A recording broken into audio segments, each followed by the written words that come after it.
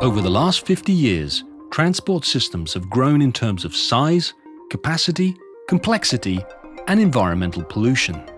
We are facing global challenges relating to the growing energy demand, increasing air pollution, climate change, raw material shortage, and rapid urbanization. The Department of Maritime and Transport Technology of Delft University develops solutions that contribute to addressing these global challenges. We investigate how to develop, design, and operate innovative marine, dredging, and transport systems and their equipment. The International Maritime Organization has announced its ambition to reduce global greenhouse gas emissions by 50% in 2050. This calls for the production of more renewable energy, carriers that allow us to transport, store and use renewable energy on board ships, and the electrification of marine, power and propulsion systems. Realizing this maritime energy transition is an integral part of the research carried out in the MNTT towing tanks, where, for example, wave-induced motions, haptic feedback and the characterization of advanced marine drive systems are studied to harness the adoption of renewable energy in a challenging maritime environment. People expect industrial systems, transport and production systems to be more safe, more efficient and more reliable. This asks for an optimal embedding of waterborne solutions in logistics chains and networks.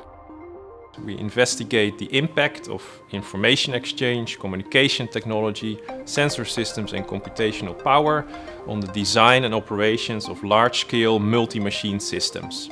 We do this via the Research Lab Autonomous Shipping and the Autonomously Guided Vehicles Lab.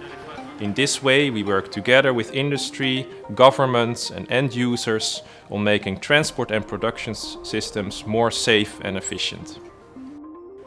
Our research focuses on equipment, machines and processes for transport and logistics in an offshore, an onshore and a nearshore context. Examples include cargo handling in ports, supply of iron ore and coke for blast furnaces for steel production and design of floating terminals. We model the cargo, mostly granular materials such as uh, gravel, iron ore and biomass, uh, together with the equipment to study the interaction. We then validate these models by executing uh, laboratory experiments as well as real-life experiments.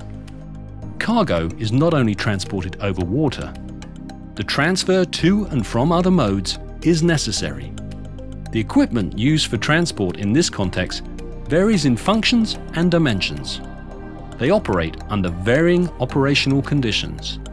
Benefiting from its highly specialized and interdisciplinary expertise and facilities, the department creates new opportunities for more safe and sustainable system operations, while expanding in innovative directions the frontiers of the maritime and transport engineering sciences.